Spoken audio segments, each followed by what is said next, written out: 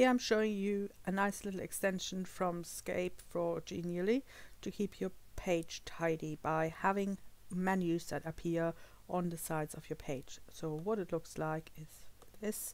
I'll show you. So in this case there are three things on the side here. There is an actual menu that takes you to different pages. Um, you can also have just pictures coming out at the side. So this is really useful.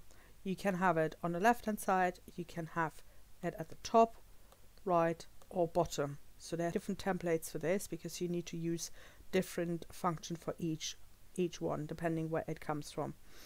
Also you can only have a maximum of three different ones on each page. So you you can have three from the bottom, three from the side, three from the top, but you can't have four from the bottom, for example. Um, another great thing is that you can combine it with another extension called Blocknote, which allows you to take notes. So, for example, here um, I've already written down some notes, namely JHJ. That's something I've written down on another another page, and it has remembered it. So now when I get to my final lock in my escape room, I can look up which code I need. Obviously, this one is letter, so it doesn't quite work. But normally they could use this during the whole escape room um, because a block note will remember your notes from one page to the next. But for that, you can watch the block note tutorial. Okay, so how you use um, store it's really easy. So you need to decide, you need left, top, bottom, and so on. Uh, let's say we want to create a right hand menu. Um, so you can maybe see that these different functions here, these little code buttons, have different letters. So we've got menu A and button A, menu B, button B, and so on. So obviously they go together. So everything that's with A will be controlled by button A. So I can copy and paste this several times. So if I want several things to, to appear at the same time, I can have several A menus here and they're all controlled by button A. So when I click this button, all of them will come out. So I'll show you what it looks like. Let's go to an empty page. We'll add them. Uh, they need to be grouped with um, pictures or words. So let's say I want my three objects here to come into the page. Okay, so we've got three random things, so I need each one needs to be grouped with the menu A.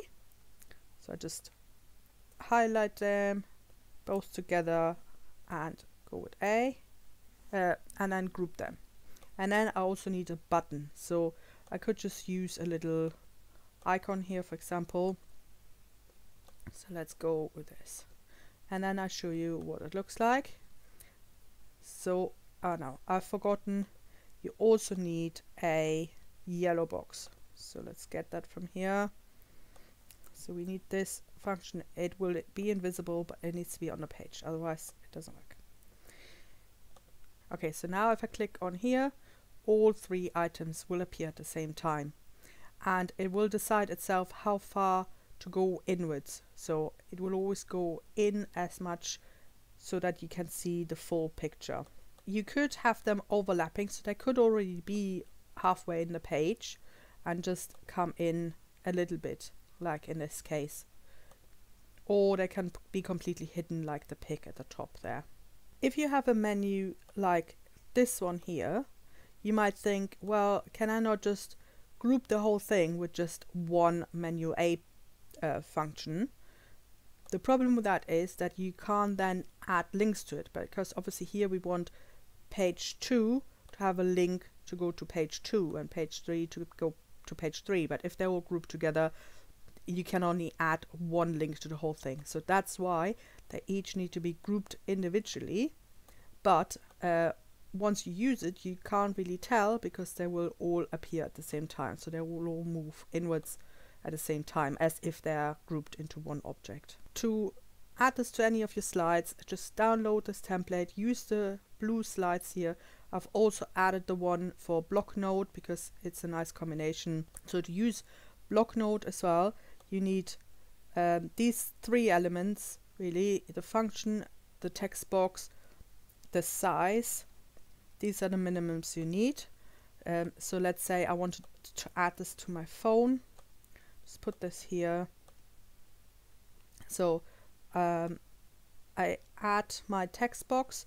For that I would need another menu A button. So just take this one and duplicate it.